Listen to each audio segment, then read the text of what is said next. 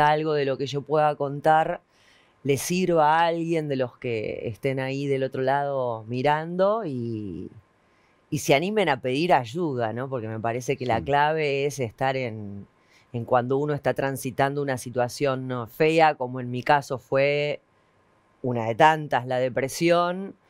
eh, se siente como un estado de infierno en el que uno parece que se acostumbra a estar ahí, pero bueno, se puede salir y, y bueno, un poco es esa la idea, ¿no? Que, que la gente se anime a pedir ayuda si no está pasando por una situación buena, ¿no?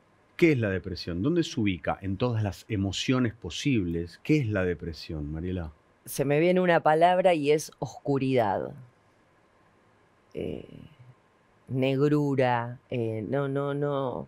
e- El, el sinsentido, el, el, el perder el gusto, el entusiasmo por la vida, el no tener motivos para, el no tener un objetivo, el no tener nada teniéndolo todo. Sí. Porque mucha gente comete el error de decir cuando una persona está transitando por un estado como ese de ¡Eh! Pero si tenés laburo, está Claro. tu hija divina, te va re bien, haces lo que querés, lo que elegiste. O sea, sí, sí, tengo todo para estar bien, pero no sé si pasa por tenerlo No. sino por una cuestión de, de ser, ¿viste? Creo que nos han enseñado a, a tener y no a ser, y cuando uno no encuentra ese ser, eh, aparece esa oscuridad que a mí me desmoronó. ¿En qué momento en vos decís, esto es depresión? ¿Hay un momento puntual en el- una foto de ese momento? Yo empecé a escuchar mucho al otro, no prestaba atención a esas alertas de los seres queridos, de, che, estás flaca, che, no estás comiendo, che, eh, no te veo bien en la tele, en la pantalla. Y yo, no, nada, nada. Eh, Me la iba dando. O sea, a mí se me muere mi viejo y yo no hago el proceso de duelo automáticamente. No, no, no le dedico tiempo al duelo, cosa que lamentablemente muchos cometemos ese error. Lo esquivé, lo quise esquivar, lo tapé con laburo.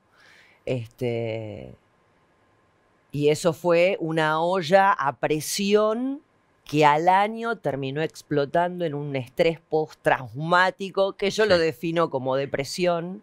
Y un día salí de la ducha, me vi al espejo desnuda y empecé a observar un poco más allá de lo que cotidianamente veía.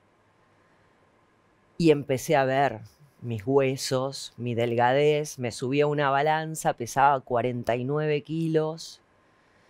Este, en ese momento, lamentablemente, hice abuso de, de la marihuana porque cometí el error de tapar el dolor con, con ese recurso que, que en exceso no es para nada bueno, como ningún exceso. Y me anestesié durante un año hasta que te digo, la, la olla Fumando. explotó Pero digo, esa es. fumando y laburo. Y laburo, eso. Y laburo. Digo, y de después de a poco empecé a, a dejar laburos porque el cuerpo no me daba, porque dormía poco, porque no comía, porque no le, no le mandaba nafta a, a- a la máquina. Sí.